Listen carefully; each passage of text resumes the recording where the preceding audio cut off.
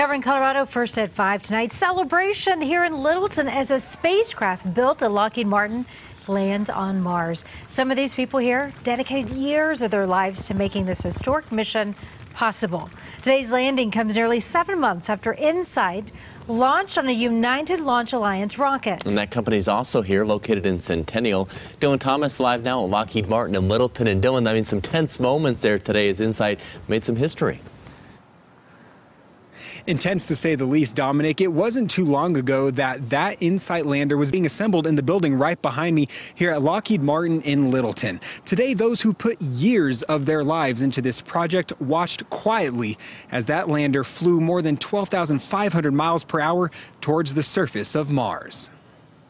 Excited, nervous, anxious. We basically have one shot to, to get it right. Just a few words to describe dozens of Coloradans as they watched their $800 million project make its final approach to another planet. Anytime you want to land on another planet, very challenging, but very exciting at the same time. InSight, the lander tasked with sampling the surface and crust of Mars, was made primarily in Littleton by Coloradans. It's been really seven years of, of design, build, test. For seven months, InSight has traveled more than 90 million miles, and Monday, the entire mission came down to a seven minute landing. With a significant delay in communication between Earth and Mars, we really don't have the ability to joystick the spacecraft.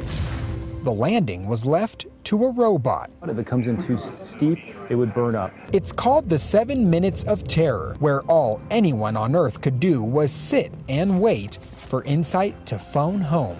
Anxiety filled the room among the Coloradans who developed the lander.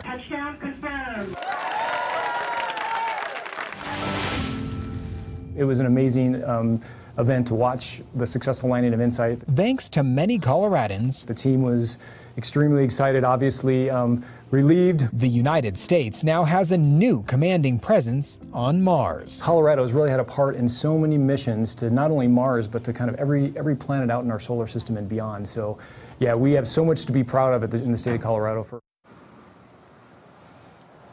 Experts here at Lockheed Martin say InSight will set the stage for humans to travel to Mars in the decades to come. But some Coloradans have already beat others to the punch. Several students here in Colorado had their names etched on to InSight.